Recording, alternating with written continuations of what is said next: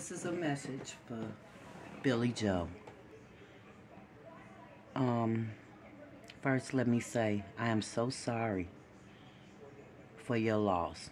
My condolences to you and your family. As a mother and a grandmother, I couldn't imagine, but I know what you're going through. Billie Jo, you prayed, you prayed and screamed and hollered and cried for this. For your baby to be found so you could lay him to rest properly. God heard you. He heard you. He felt your heart.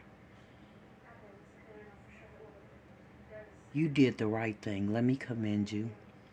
Because I know that was hard to walk your daughter into that station and release her.